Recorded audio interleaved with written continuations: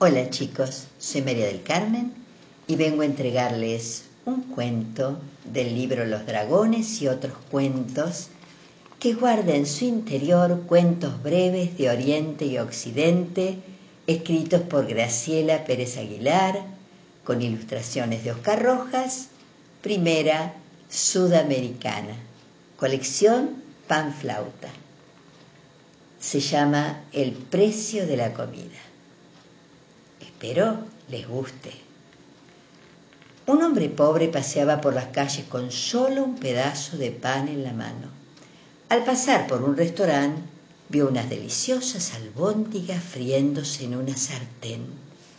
Con la esperanza de capturar un poco de ese delicioso aroma, sostuvo el pedazo de pan por encima de la sartén por unos pocos segundos y luego se lo comió.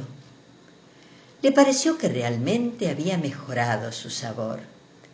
Sin embargo, el dueño del restaurante que lo había visto lo agarró por el cuello y lo condujo ante el juez, que era un hombre justo.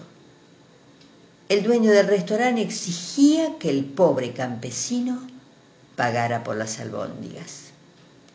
El juez lo escuchó atentamente, extrajo dos monedas de su bolsillo y le dijo, Párese junto a mí por un minuto.